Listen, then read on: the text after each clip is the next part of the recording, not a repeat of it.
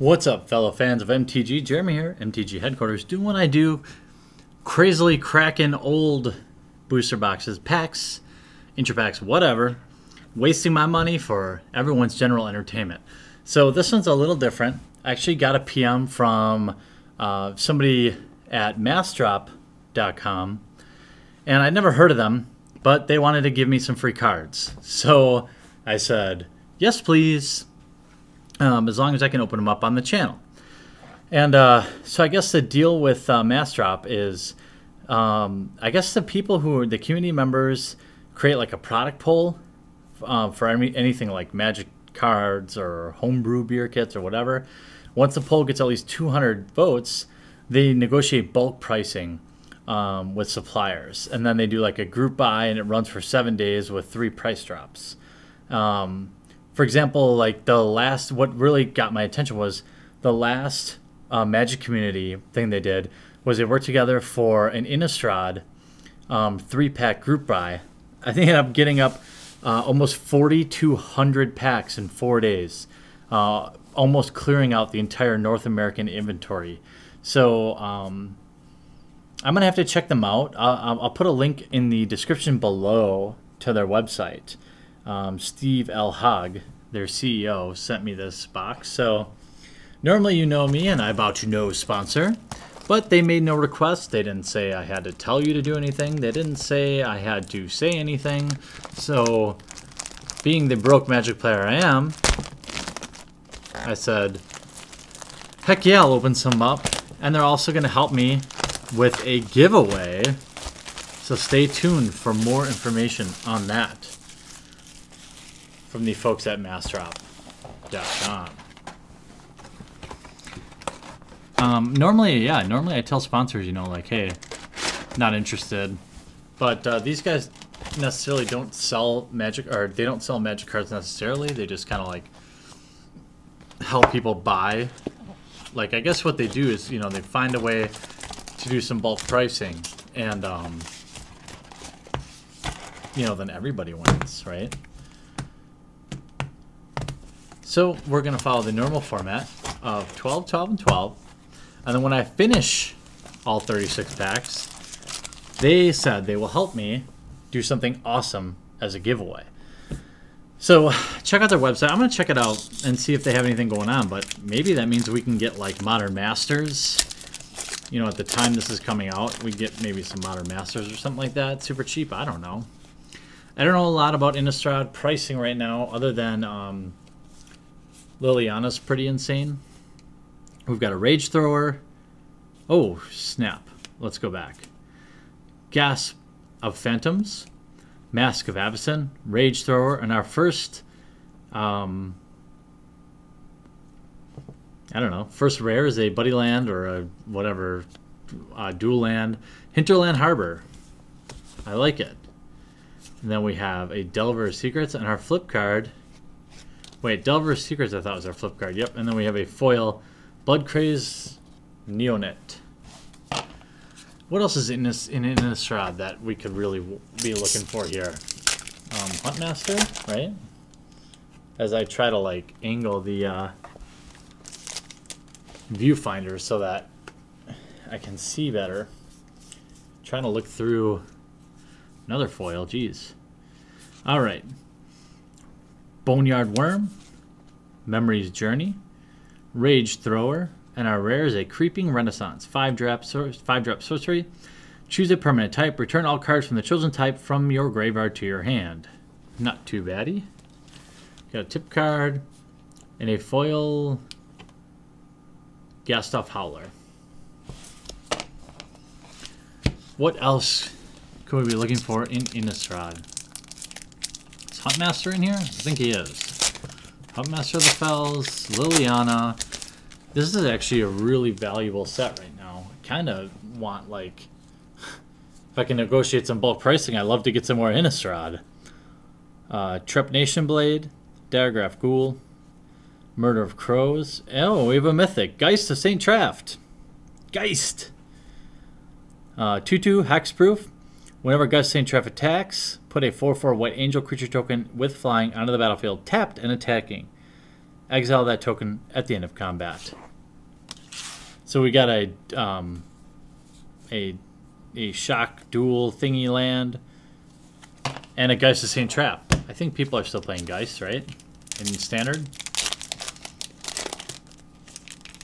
Pretty sick card. Pack number three. We've got a Diregraf Ghoul. A Bramblecrush. A Moan of the Unhallowed. Hey, an Isolated Chapel. Wow. Pretty good card so far in, in, four packs. And our flip card is a Villager of Estwald. We got two, um, what do you call them? Not buddy lands, but, um, I don't know. They're not shock lands, really, because they come into play tap, but you don't have the option to do damage to yourself. Oh, isn't, um... Cavern Souls in here, too, I think? Well, Falkenrath Noble, Fiend Hunter, Intangible Virtue, and a Laboratory Maniac. Three drop for 2 2. If you would draw a card while your library has no cards in it, you win the game instead. And our Flippy is a Reckless Waif. Innistrad was actually one of the first sets that I really got into when I got back into Magic. Um, Innistrad and like Dark Ascension. Those are the two first like big ones that I that I kind of bought heavy into. So relatively familiar.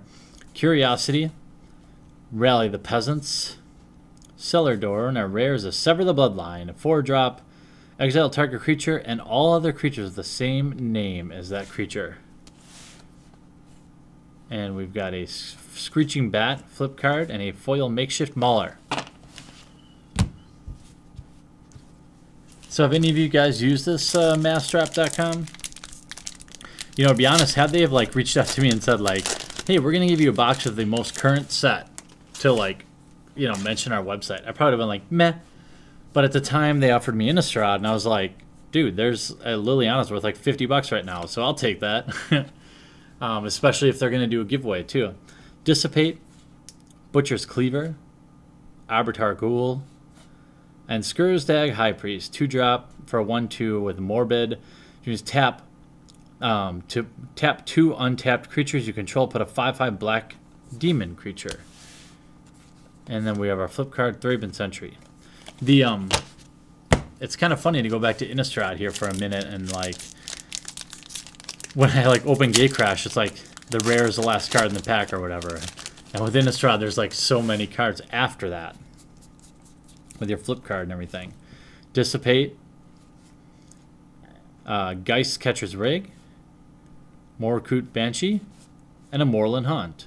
Uh, this is a tap dead one colorless, and also for a white and a blue Exile a creature card from your graveyard. Put a 1 1 white spirit creature token into play.